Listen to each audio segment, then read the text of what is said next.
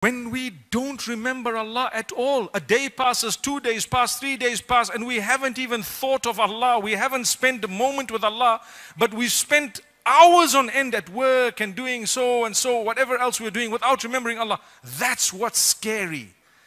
I think every one of us today, this reminder should make us from those who put back Allah into the equation. Put him back. Even if it's you're driving, subhanallah, alhamdulillah, mashallah, tabarakallah, la ilaha illallah, subhanallah bihamdi, subhanallah al-azim. That's a powerful remembrance of Allah. And that's the topic today. Powerful remembrance of Allah. Say these words. Learn their meanings because they will, they will be more powerful when you know the meaning of what you're saying. People ask me, you know, I'm feeling sad. What should I read? I say, read Surah Al-Duha, but don't read it without reading its meaning as well. If you read Surah Al-Duha, Wal-Duha, Wal-Layli Ida Saja, many of us know exactly what that surah is, but we don't know its meaning. If you say Wal-Duha, they'll say Wal-Layli Ida Saja, straight away. Even the kids, Ma wadda'aka rabbuka wa ma qala. Do you know what that means? Your Lord has not forsaken you, nor is He upset with you, nor is He angered with you. Many of us feel Allah is upset with us. Perhaps He's angry with us. Perhaps we've done something. If Whatever has happened has drawn you slightly closer to Allah. It's not the anger of Allah, it's the pleasure of Allah, it's the gift of Allah upon you. So, inshallah, we can increase that remembrance of Allah upon all conditions and everything we do. Don't let anyone discourage you. You know, some people also say that, you know, I feel so discouraged because I feel like I'm very far from the mercy of Allah.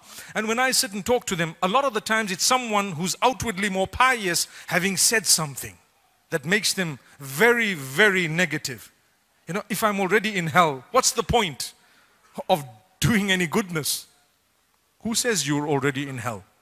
The people who said that, they've got to be there to have seen who's in hell. Do you get that?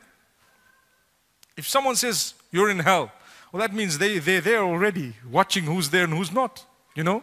It's like a guy says, I saw you in the nightclub. Well, how did you see me? You were there, right? Exactly. So how did you see these guys in hell? So stop saying that. Stop discouraging people. Inshallah, we, we all would like the, the pleasure of Allah. May Allah make it easy for us. Barakallah. Allah is just. Allah is al-adil. This is gateway number one. The perfect justice of Allah. Beware of ever doubting that. Because if this gateway is not present, or it is covered with curtains, we will never be able to accept the qadr of Allah. He is just in everything that He does, even though you and I may not see it that way.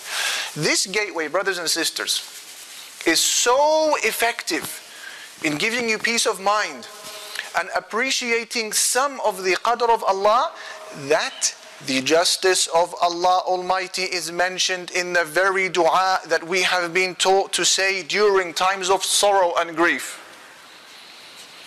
When you are sad, depressed, there is a dua we've been taught to say by the Messenger wasallam, and that dua includes the justice of Allah. Yeah, because it helps you appreciate the qadr of Allah.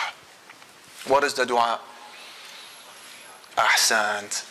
Ahmad narrates in his Musnad on the authority of the companion Abdullah ibn Mas'ud that the Messenger wasallam said, any human being who is affected with sorrow, grief, sadness, he should say the following words: Allahumma inni abduk. Oh Allah, I am your slave. Ibn Abdik, son of your slave. Ibn Amatik, son of your maidservant. Nasiyati biyadik, my forelock, my forelock is in your hands. Madin fiya hukmuk, your command over me will always be executed. Listen to the next part. Adlun fiya qada'uk. Your command over me is always just. Your command over me is always just. Look, the justice of Allah, this gateway number one, is found in the dua for sorrow and depression.